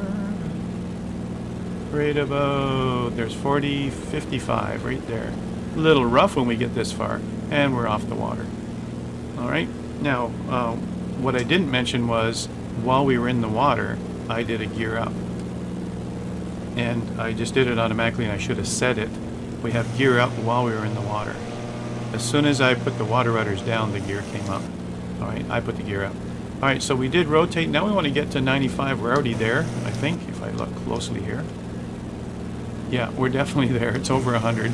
And so now we want to set flaps to climb. So we're going to raise them one like that. Now we're on climb, and it's typically a 90 knot climb. So let's do that get the right attitude for that. And you can see there is 90 knots right about there. I'm going to trim it. Just using the trim wheel, you guys. I want to set that 90 right about there. And there it is. I'm hands-free. And that's my climb. This plane can do it. It can do it. I don't necessarily want to go too high, so now I'm going to go transition. I'm going to go to flaps to zero I'm going to do 30 RPM. Let me see if I can just move over here. Like that. Maybe not. uh, 30 on the MP, 2000 on the propeller RPM. There we go. Now that's normal there, and you can see I'm leveling off. This will be normal cruise. You'll see my speed pick up now, unless I intended to climb some more. And so now let let's just get that attitude right for a normal cruise. And I should get up to about 130 to 140, all right, at this setting. Still climbing. And we can just look at our, our vertical speed indicator just to see what's happening. And as I pick up speed, of course, I have more lift. So let's just do that. I could have leveled off at 2,000. I'm staying pretty much around water because I'm going to land. All right, so Flaps to cruise, that's what we've done. Throttle to 29.7 on the MP. Oh, not 30, everybody. Not 30. 29.7. Right there. I'm actually surprised at that. 29.7 is right there. Okay, can we get a close-up of that? Probably, if I do this. There we go. 29. Uh, yeah, okay. Maybe there. Oh, that's kind of funny. Okay, we could say 30, couldn't we? And my 2000 is still set nicely right there. There's our setting for cruise. Flaps are at cruise setting too. You can see that up here. We are set for a normal flight. There we go. Let's enjoy the countryside. Beautiful. I'm in this nice open area. There's no way that I have a problem landing in this lake or this stream or whatever this is. And I'm going at 130 knots normal cruise. I could inch that up a little. Oh, I can see I'm just, just oh, I just turned so I'm descending a little. Um, I could take that up a bit faster, take it up instead of 29.7. I could give it a boost. Temperatures and pressures in the green. Propeller lever gives 2,000 RPM or less. So you're just trying to preserve the engine. Temperature and pressures in the green. I'm looking here. Temperature looks good there. Temperature looks good there. Temperature looks good there. We are good to go. Now that I'm in level cruise, I'm going to switch to my center tank. Now you could, you, oops, I just turned off my fuel. Ah, ah, look at that. You just have to click it, and it'll turn it off for you. Okay then. There we go. Whew. That was close. I think I lost some altitude there. Yeah, a few thousand feet. Yeah, be careful with that. Now with your hand you would just turn it, but I just clicked it. Yeah, there's an up arrow and a down arrow. So anyway, watch it when you when you switch your tanks. What happened to my nice big river? I had a nice big big. There it is. All right, so um, climbing back up a bit. I'm going to give it a bit of power to do the climb. Give it full RPM. Maybe back a little, and I'm giving it full throttle just to climb back. But you know, if I'm going to go land, no worries. All right.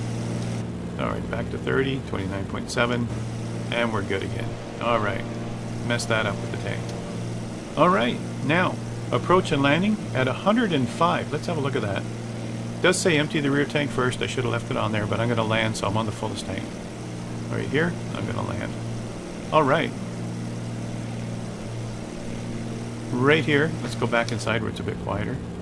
Right here, I'm going to go to temperature pressure in the green propeller. Cruise is good. Set trims, I did. Now we're coming down here, approaching landing at 105, flaps to landing, landing lights on, prop lever to full. You do this so that you're prepared for go around, mixture rich. All right, reduce speed towards 90, gear down or up, and you get into that range. I'm going to head right to a, looks like I'm heading right for a mountain. Sure, let's go this way. Head in the cockpit. All right, so what are we aiming for? At 105, we can do flaps, we know that. Landing light on, make sure our levers are full.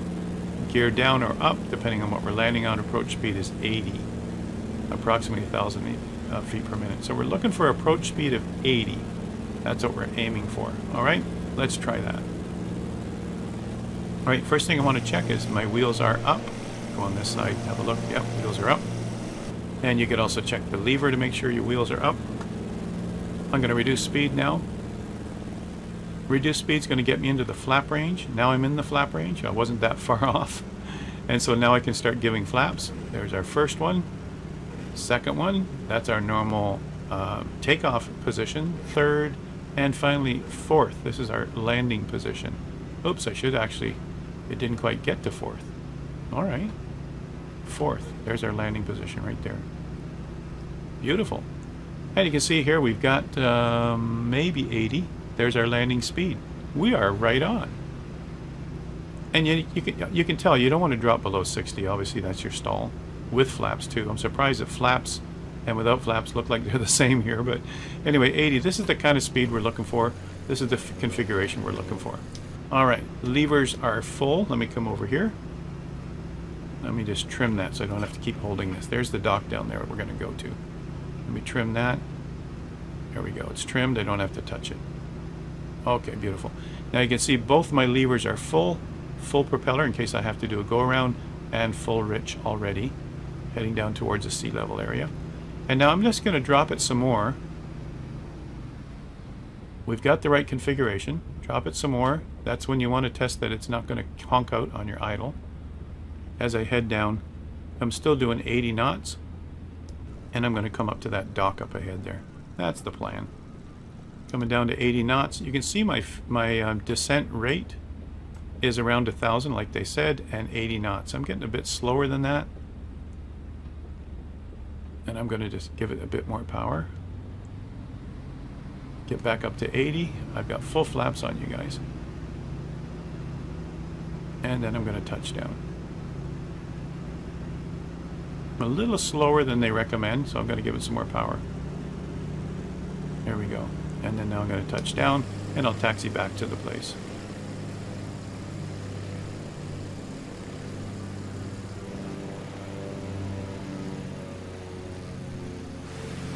And now hold the stick back, cut power completely. Don't put the water, water rudders down yet. You can tell by the, the, the, uh, elevator at the back, my flaps, my elevator is all the way back, my yoke is all the way back, and of course I'm slowing down. I've got drag from the flaps, I got drag from the elevator, and the elevator's keeping the back of the pontoons in the water so the fronts don't dip. That's what the plan is. All right, so now from here, I can relax the yoke. From here, I want to put the water rudders down. Outside the plane, you can press Control W, and down they go or from inside the plane use that steel rod that you saw. Bring the flaps up to normal cruise. Set transponder, anything else you need to do while you're here. And now I'm going to turn around and go back to the dock. Now I want to show you while we're here too, I wanted to show you there's a normal cruise with rudder with rudders down in the water as I head back toward the dock. You can do a fast taxi also. You can get up to probably about 1600 here, right about there. You won't take off at that speed, but it gives you a nice fast taxi. All right, now at this point it's debatable. Some people will say not a good speed for your water rudders. It is hard on the water rudders when you're at this speed, so you might want to pull them up because you do have air, you have um, rudder authority and elevator authority at the back. So I can still steer, and there I am turning on a step taxi. All right, I'm going to turn that back down again. Step taxi, of course, is the least amount of friction and the fastest way. It actually creates less wake too. It's better to do a fast taxi, but certainly as you approach a dock, you'll want to, you'll certainly want to uh, slow it down like I'm doing right now. I'm down to idle. We'll see how long it takes for me to slow down, and then I'll judge my approach from there.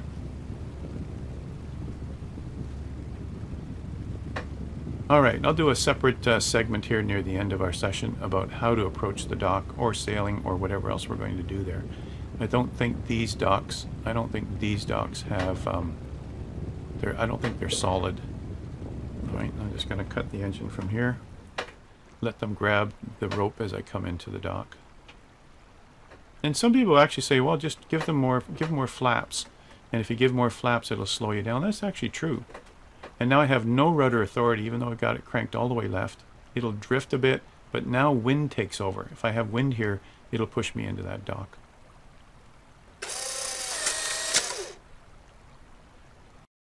For this demonstration, I'm going to use the Tundra tires off of uh, the BC Interior.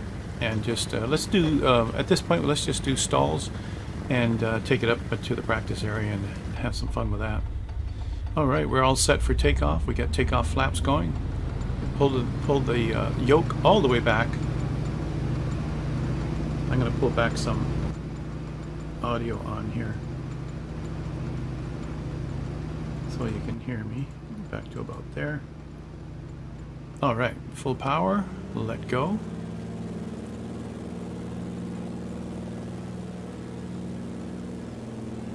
You can see what's happening, we're moving tails up. And we are 40, 55. Up we go. That's our rotate speed. No retractable gear on here. Now we can set it to climb, bring it up to climb position. There's climb position. And climb position is somewhere around there. I'm going to trim that and let it ride. Beautiful. Look at that.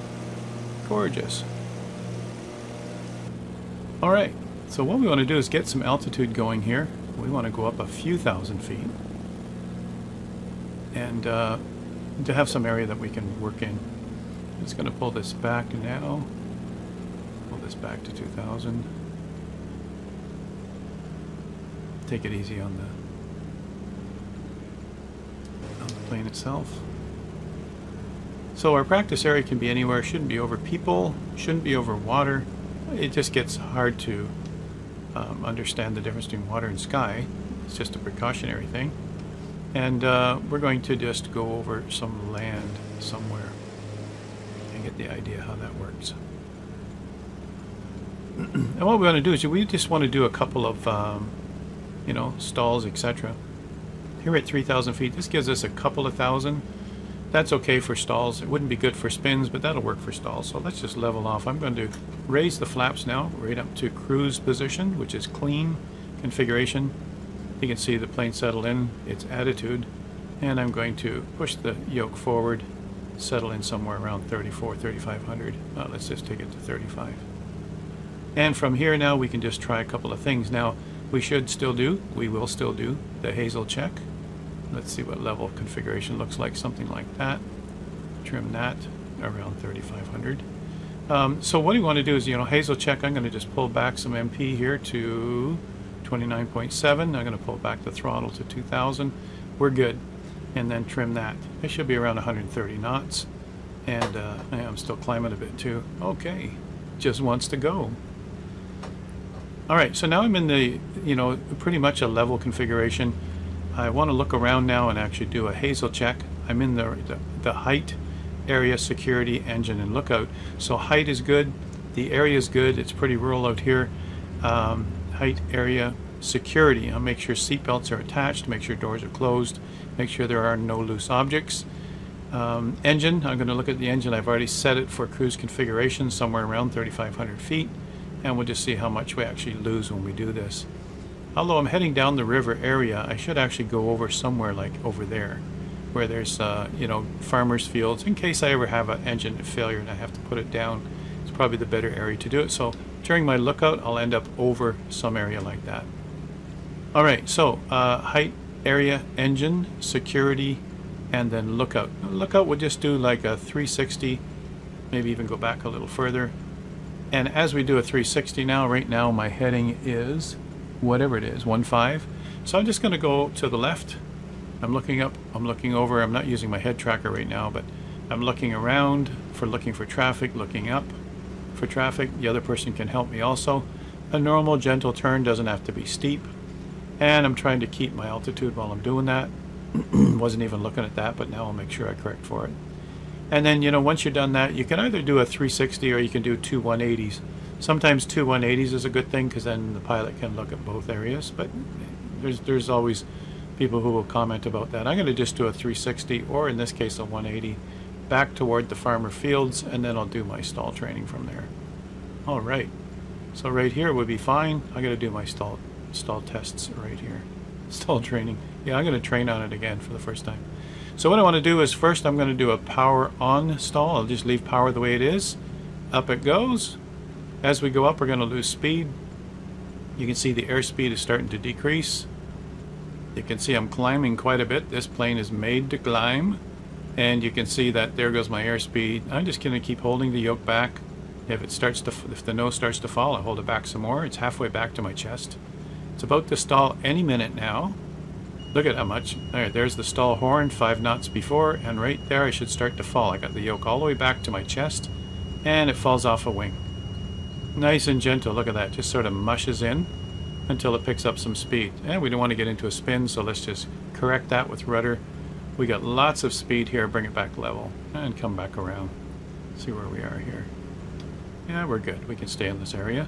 Now I want to do a power off stall, get it level again, and I'm going to cut the power and do the same thing. In this case, you typically try and keep your altitude like that. Pulling the yoke back, now it's halfway back to my chest, a little further back. And we'll see what happens as we get close to stall. Stall horn. Holding it all the way back. The yoke cannot go back any further. And look at that. It just kind of mushes down to level. I cannot make this thing fall over. A wing won't fall on this configuration. You guys, the yoke is all the way back to my chest. I can't go any further. What a nice design. Now, you don't want that ringing in your ear. You don't want to stay in this stalled state. But it actually is a good feature they've built into it. All right, check it forward. Just release the yoke. Picks up a bit of speed. And of course, you can pick up the normal setting again. And we'll settle in at 3000. As you can see, it's a, it's been designed well, and the dynamics here in the simulator are working well too. That's exactly what happens in the real Beaver. Now I want to do um, a steep turn to the left. We did a HASEL check. There were no planes in the area. This remote area, there's nothing.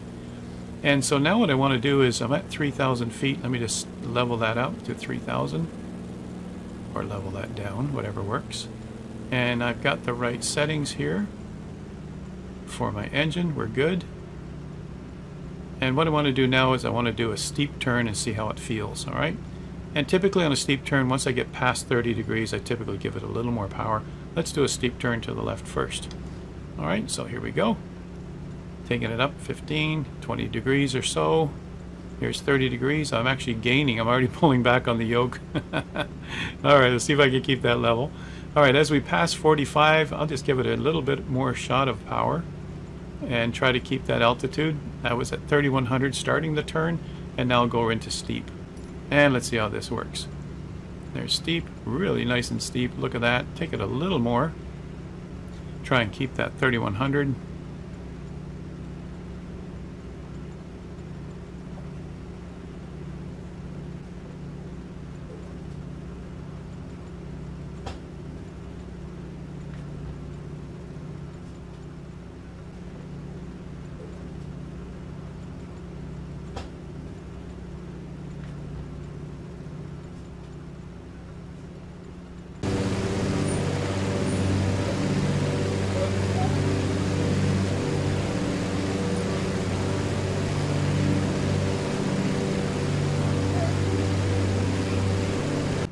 Okay, now we'll take it back for a landing.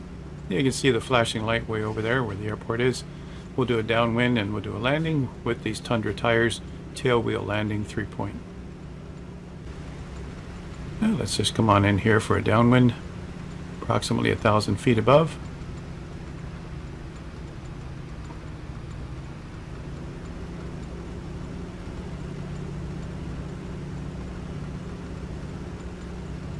Be landing 15, I think it is.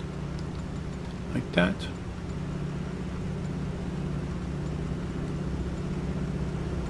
Twenty-nine point seven. Out from here, primer master mags on both. Temperature pressure is good. All circuit breakers are in. Switches are set. Landing lights on. Rock and roll. There's the airport.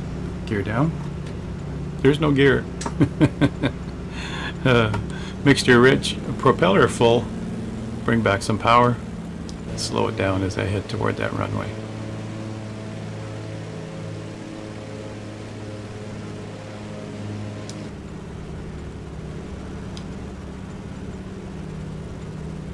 There's a good speed.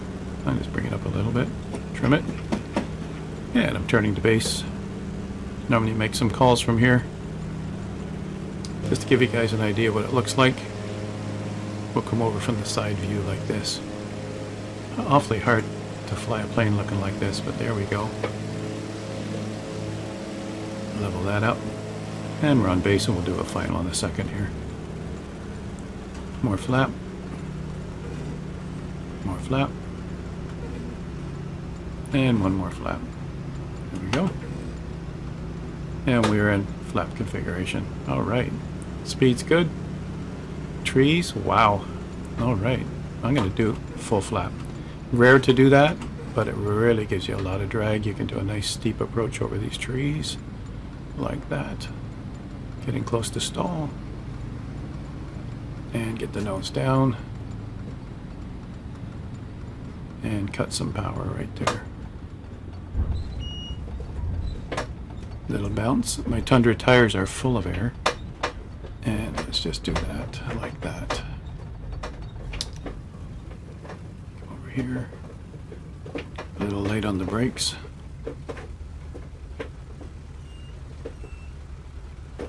There we go. We're down. Flaps up. I did use steep flaps. And I, I didn't round out quite enough, but that's okay. Every landing, you'll figure out what happened. Flaps are all the way up. Taxi.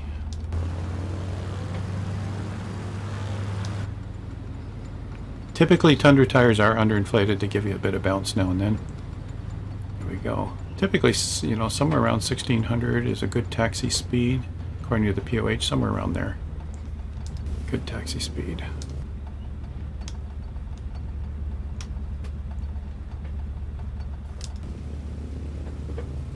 Right there. Slow it down a bit. Now this plane could go across the grass easily, but you never know if it's wet grass. And away we go. Now if you think that's easy, managing a plane from an angle, it is not. anyway, that's how it's done.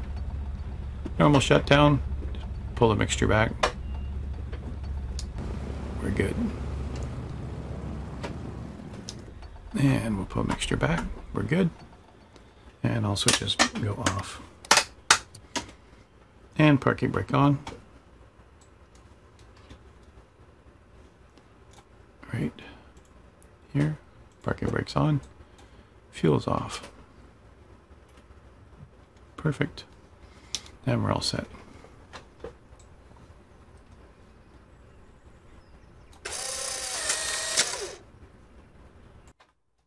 Now it's your turn. So you can see from this list here, gather your checklist, your POH, and let's head to the airplane. You've seen demonstrations now in, in the different configurations. I would say pick the float plane first. It's simpler to take off and land.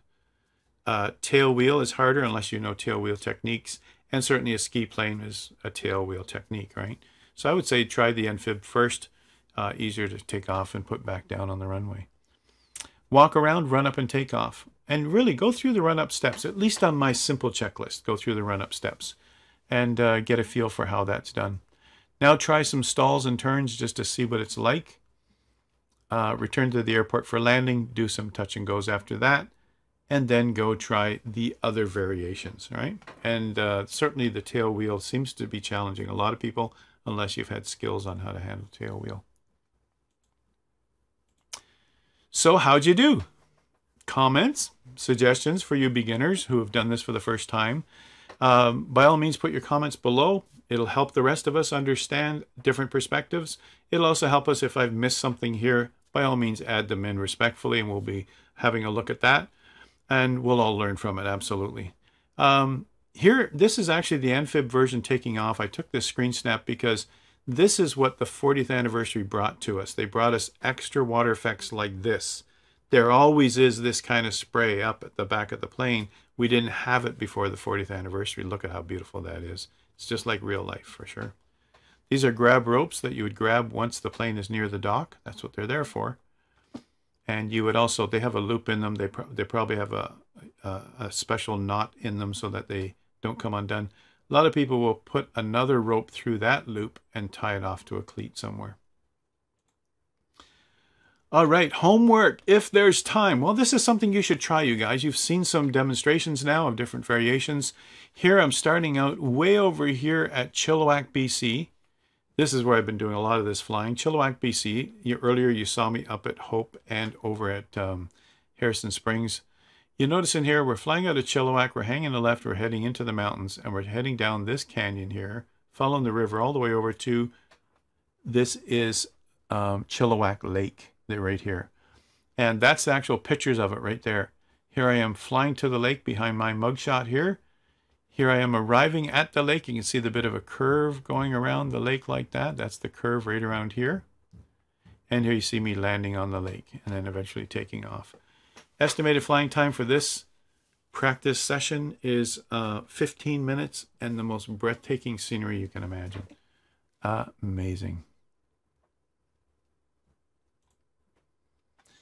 All right, thanks for your participation, everyone. In the YouTube videos, I don't get to see how many of you are trying these techniques. If you made it this far in the video, you're probably serious enough to go try these things. Keep your POH handy, keep your checklist handy, and um, those who are subscribers on my Twitch channel, on my Twitch channel, can have the PDF of this presentation for free. Um, and that's it. I just try to give a value add for those who actually um, spent money to subscribe to Twitch. Here on YouTube, your subscriptions don't cost you but uh, let me know what you need. Uh, you'll see the other links for POH and checklist here already. And thank you, Blackbird Milviz, for an excellent product. I couldn't resist by putting this picture back in there again, but they certainly know what they're doing. Milviz has always been top-notch in the stuff that they've made. All right, everybody, that's the end of that. Contact me in any of the means. Um, directly in Discord is the best way, you guys, in the Discord link. Uh, if you're in Twitch, just type an exclamation point Discord and you'll get the link for Discord.